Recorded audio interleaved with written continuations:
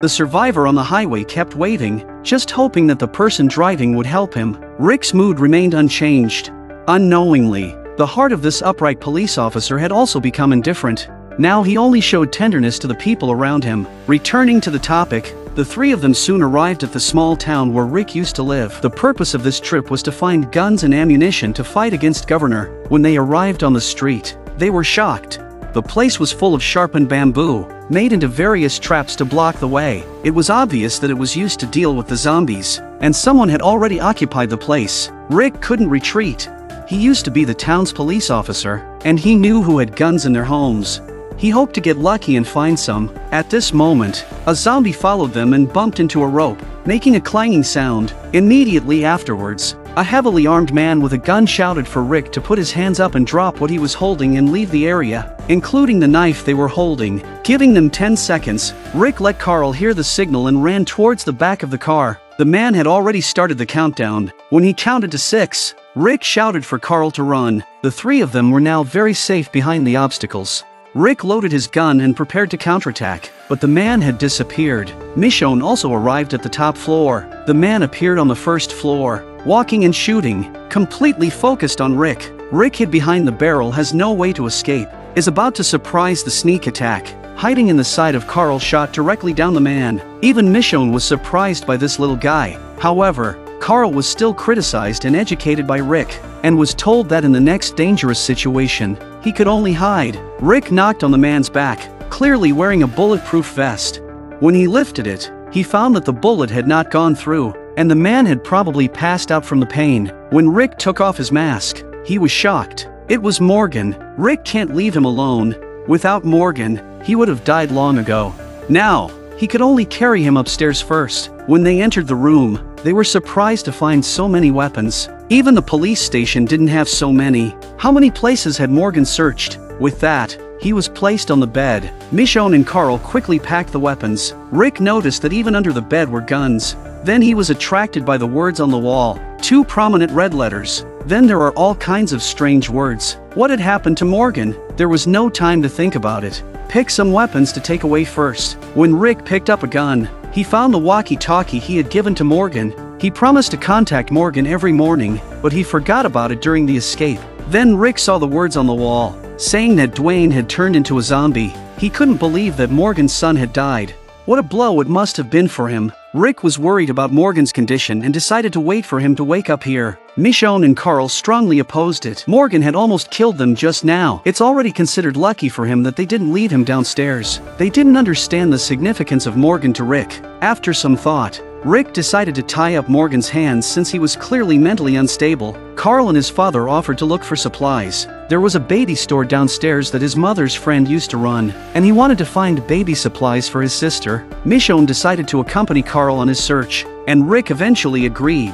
After a while, Rick picked up a sniper rifle that he had given to Morgan before. As he was examining it, Morgan suddenly pounced on him, Rick instinctively knocked him down. Rick repeatedly asked Morgan if he knew who he was and if he recognized him. Morgan shouted that Rick was a devil with a human face and then lunged at him with a knife. Rick tried to resist while also attempting to awaken Morgan. Morgan's strength was too great, and he easily knocked Rick to the ground, yelling that Rick was not human and that he wanted to kill him. The knife plunged directly into Rick's shoulder. Rick fought back without holding back, taking out his gun and cursing while pointing it at Morgan's head. To Rick's surprise, Morgan begged him to pull the trigger and kill him. When Morgan calmed down, Rick put away his gun. Morgan cried uncontrollably, and to prevent him from causing any more trouble, Rick had to tie him to a table.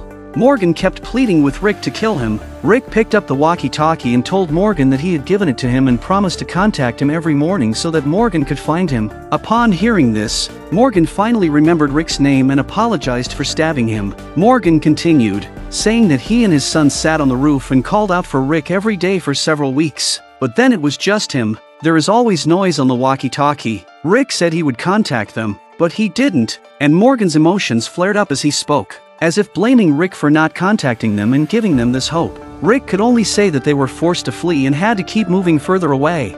He found his wife and son.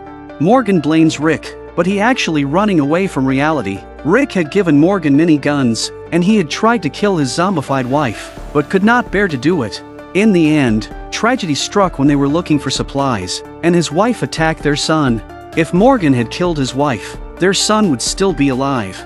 With guilt and sadness Morgan becomes eccentric. As Rick listened to Morgan's story, he could feel his despair. He was also a father. After a while, both of them calmed down, and Rick told Morgan that they could get through this together. But Morgan's mental state was pessimistic, and he didn't want to go anywhere. In the end, the three of them left with some of the guns. Before they left, Rick looked back with deep helplessness. He didn't know how to help Morgan, and his own life was a mess. While they were packing up, Carl told his father that Michonne was a good person and that they should let her stay. He had enjoyed spending time with her while they were looking for supplies. Thanks to Carl's words, Rick agreed to let Michonne stay. When they returned to the cell, Glenn was in charge of organizing the guns.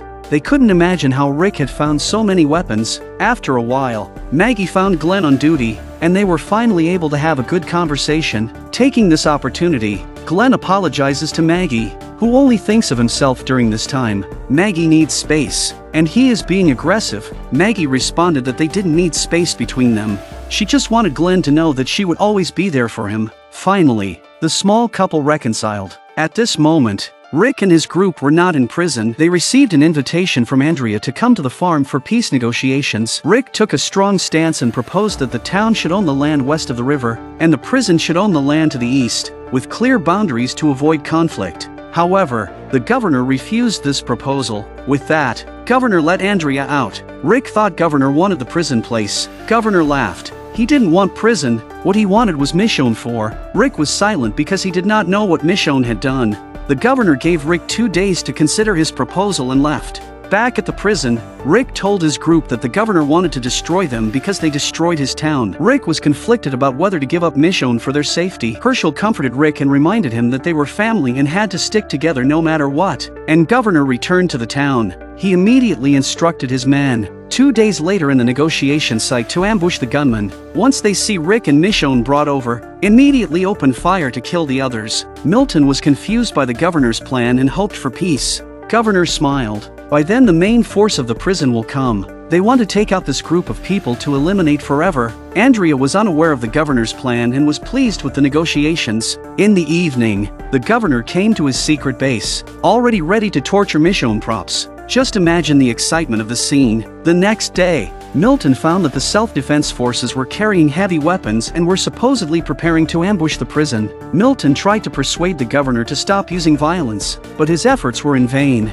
Milton told Andrea about the governor's plan to kill Michonne and everyone at the prison. Milton then took Andrea to the governor's secret base. A chair prepared for Michonne. This pervert wanted Michonne to feel the pain of losing her eyes too. Andrea realized she had made a mistake and decided to kill the governor. However, Milton stopped her and explained that killing the governor would not solve anything. He suggests that she go and inform Rick and his team to escape. Andrea drew her gun in anger and got out of there. Andrea did not understand why Milton protected the governor. Milton explained that if Andrea killed the governor, she would not be able to leave the town alive. The governor's men would not spare anyone at the prison. The only option was to inform Rick and his team. Andrea understood and left to warn them. She said goodbye to Milton. Andrea rushed out onto the street, ready to slip away at any moment, but she was stopped by the town's militia. The governor had decreed that all residents must surrender their weapons, so Andrea reluctantly handed over the weapons Rick had given her. While the militia was collecting the weapons, Andrea quickly made her way to the gate, where she was confronted by Tyrese and his sister. Seeing that the two wanted to ask a clear question,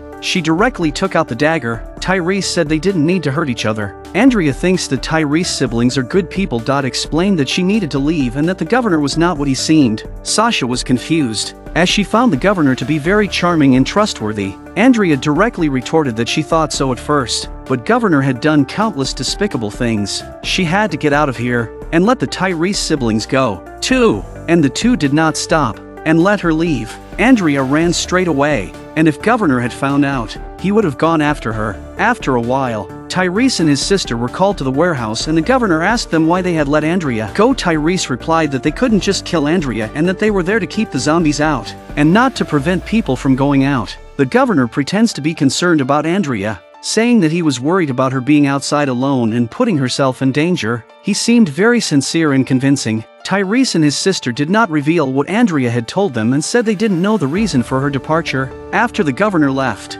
Milton immediately went to talk to him and suggested that he let Andrea go and be with her friends at the prison. However, when Milton mentioned that Andrea only wanted to be with her friends, the governor realized that Milton had told Andrea about his plans and became furious. He realized that if Andrea made it to the prison, all of his plans would be for nothing. Governor plans to go after Andrea himself. Andrea left the town and ran wildly, but soon there were cars driving, must be to chase her. I do not know how long it took to get rid of a lot of zombies, and finally came to the prison. Andrea saw Rick on the watchtower and excitedly raised her hand to get his attention, but Rick only glanced briefly and did not notice her. He took a closer look with his binoculars but saw nothing out of the ordinary, thinking that he was hallucinating again.